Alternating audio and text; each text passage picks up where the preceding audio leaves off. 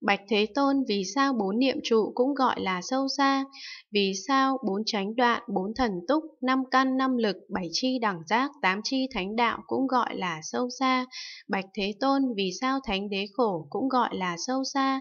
Vì sao thánh đế tập diệt đạo cũng gọi là sâu xa? Bạch Thế Tôn vì sao bốn tịnh lự cũng gọi là sâu xa? Vì sao bốn vô lượng, bốn định vô sắc cũng gọi là sâu xa? Bạch Thế Tôn vì sao tám giải thoát cũng gọi là sâu xa, vì sao tám thắng xứ, chín định thứ đại, mười biến xứ cũng gọi là sâu xa. Bạch Thế Tôn, vì sao pháp môn giải thoát không cũng gọi là sâu xa, vì sao pháp môn giải thoát vô tướng vô nguyện cũng gọi là sâu xa.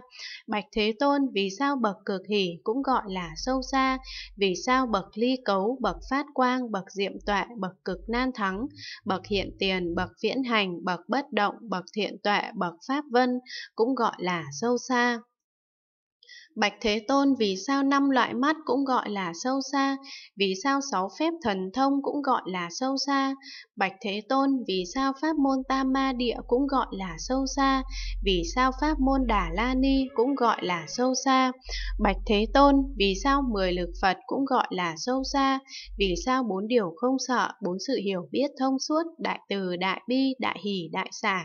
18 pháp Phật bất cộng cũng gọi là sâu xa. Bạch Thế Tôn vì sao sao Pháp không quên mất cũng gọi là sâu xa, vì sao tánh luôn luôn xả cũng gọi là sâu xa. Bạch Thế Tôn, vì sao quả dự lưu cũng gọi là sâu xa, vì sao quả nhất lai bất hoàn A-la-hán cũng gọi là sâu xa. Bạch Thế Tôn, vì sao quả vị độc giác cũng gọi là sâu xa. Bạch Thế Tôn, vì sao trí nhất thiết cũng gọi là sâu xa, vì sao trí đạo tướng, trí nhất thiết tướng cũng gọi là sâu xa. Bạch Thế Tôn, vì sao tất cả hạnh đại Bồ Tát cũng gọi là sâu xa. Bạch Thế Tôn vì sao quả vị giác ngộ cao tột của chư Phật cũng gọi là sâu xa.